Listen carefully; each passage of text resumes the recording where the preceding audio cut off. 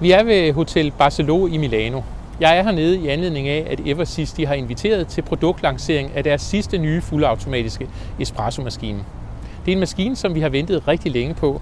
En maskine, som vi tror kan sætte en ny standard i markedet, især for de virksomheder, som stiller rigtig høje krav til deres kaffeløsning. Men nu vil jeg gå ind og se, hvad Eversys de har at byde på.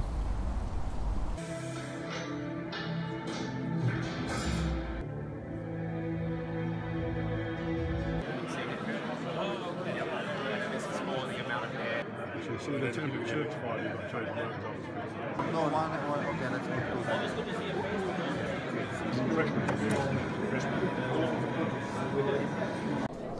Her ser I så Eversys' nyhed Camero. En fantastisk espresso-maskine med en masse fine finesser. Den er det oplagte valg for jer, som gerne vil have en driftssikker og en stabil maskine med en høj produktivitet, og som ikke mindst er i stand til at brygge en fantastisk espresso. Jeg glæder mig til at vise den til jer, og hvis I er interesseret, så kontakt os endelig.